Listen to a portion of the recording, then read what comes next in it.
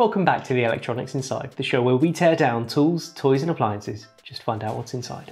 I'm David and in this episode we've got the nice 1989 Motorola personal digital communicator and the HTC Wildfire from 2010-ish. Let's get on with the teardown.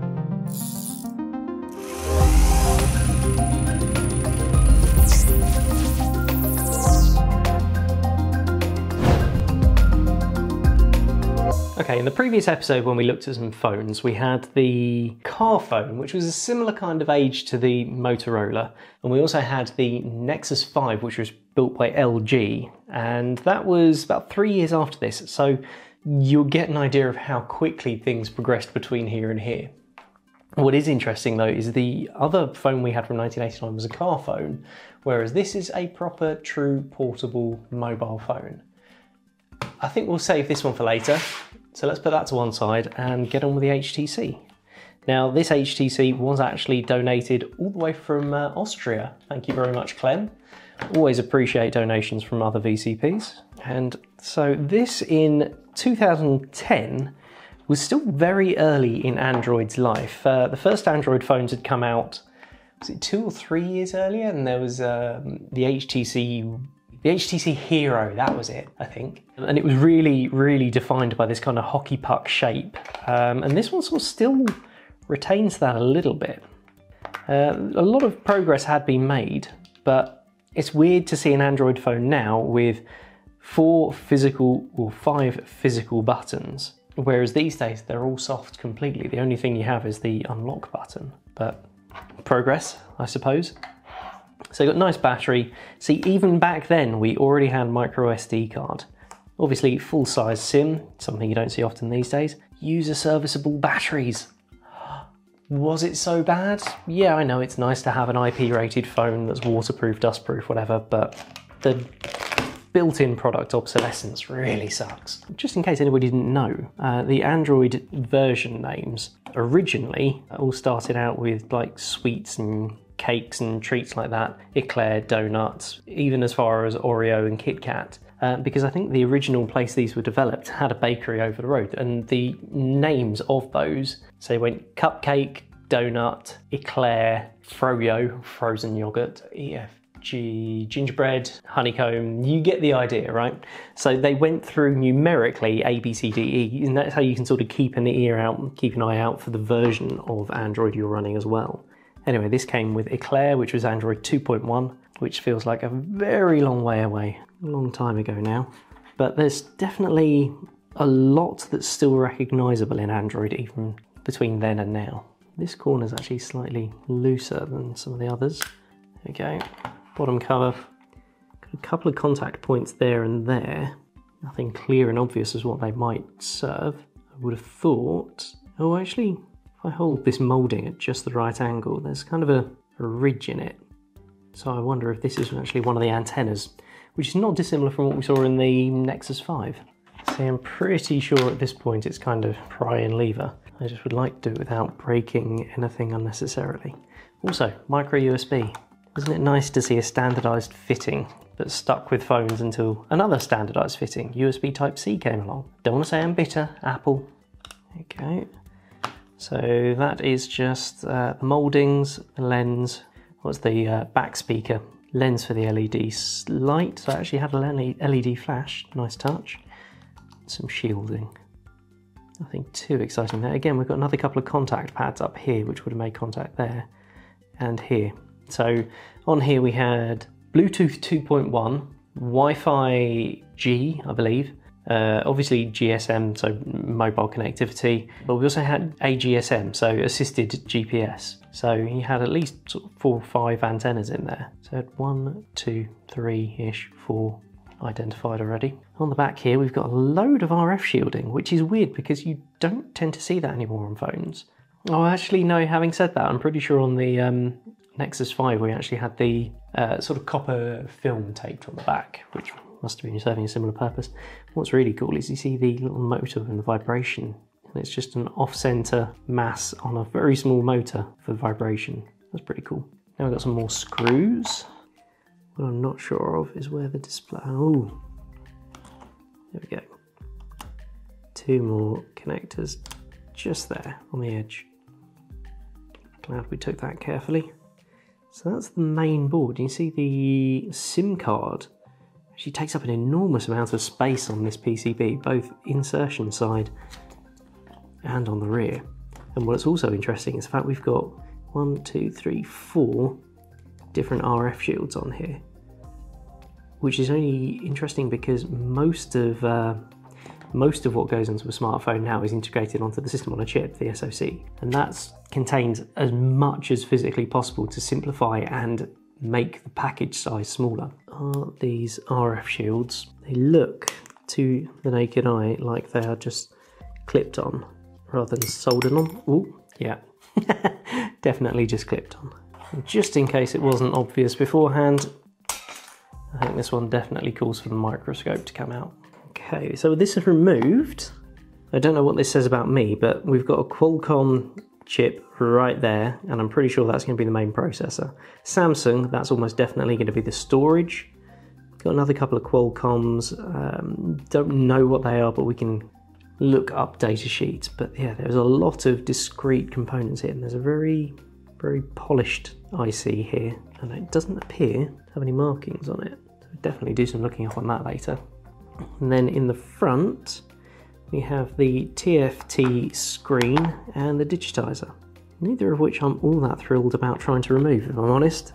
For the sake of history, we'll keep that all together. So, again, modern phone, not quite as rationalized down to one system on a chip and one storage chip like modern phones are, but you can definitely see the rationale of trying to condense everything down as small as possible. Low power, low energy, it's heading that direction. And it wasn't long until we got that system on a chip with everything integrated into it. So let's compare that to 1989's best. Oh, just look at it. So this one, I know straight away isn't gonna work. It's got a nice nickel cadmium battery, which I wouldn't dare plug in. I'm sure that'd be uh, spontaneously combusting in a second if we tried to charge it. And also one of the contacts here at the battery bay has just disappeared. I don't know if it got caught on this and escaped when the battery was being removed at some point or whether it's somehow got caught and pushed inside. Uh, at least we can eliminate that option in a little bit. One thing I do want to point out though is this. This is just a dumb indicator. So this means if you, for some reason, needed lots and lots of talk time, you could put three or four of these in your bag, and when they're empty, flick the switch, just so it shows this is a dead battery. You don't have to plug it in and try and turn your phone on. You know without plugging anything in. Nice little idea. Personally, I prefer to like some laptops, like having a little power meter on the side where you can press a button and it will show the energy level. But yeah, that's, that's a hunking great battery, which was basically the size of the whole of this phone, or bigger than. Look, you could have got two or three of these in that space. So hopefully everybody has watched and is very familiar with the, uh, the video of the car phone we did. If not, why not? Go back and watch it now, I'll wait. So this, this phone falls into that awkward category after there was some sort of international standardization on mobile communications in the late 80s, where the dialing and connectivity was digital, but the actual talking was still analog, which is why you end up with that crossed wires, I can hear somebody else's phone call issue, because in theory it was just analog and you could tune in without much effort. Now the trouble is, that was the only screw or fixing I found on the entire thing. Having a little look, and that means that now I don't have a clue where to go. Yeah, think that antenna casing has got to come off first. Don't know if that's glued in. No, just pressed on. Okay, well that wasn't pretty, but the back cover is off and it's relatively intact. I have cracked this bottom corner, unfortunately. But what I will say is the shielding, totally different concept. It's kind of this like, I mean, it's just a plastic back shell, but they've got this copper coating painted on, sprayed on. And this little bit of plastic that jumped out while we were doing the disassembly appears to make up these sort of the, the gaskets, the contact points between this painted finish and the motherboard. And that will just place back on. You see where there are slightly tarnished points all across here where all of these uh, little gasket parts make con good contact. Obviously we've got the nice sliding antenna. Ooh, ooh, oh my goodness, there is so much in this phone. So this display is actually very, very similar to the, or reminds me of the LED display that we saw in the calculator. The Texas Instruments TI-30 scientific calculator had a very similar LED display to this one. So at least you didn't have to drag along with vacuum fluorescent tubes in your uh, mobile phone. So that is a very well packed double-sided surface mount board. It's a huge custom connector for connecting to car phones. Oh look, okay, so this battery terminal, uh, that must have broken off while we were taking that out. So that would have placed just there. And obviously the one that was missing was this side, which makes me think that was definitely gone well before I got to it. No side of it inside, so it must have fallen out when it broke. Because this rod seems to be just plastic. We've obviously got this coil here, but there are no electrical, electronic connectors onto the main area. Was it a placebo, or is there a metallic substrate in there that's uh, becoming a sympathetic antenna due to the induction at the bottom? So just up here when the antenna actually goes in, let's remove that straw through lack of a better description. Look around here. You can see all the temper colours coming out of the steel.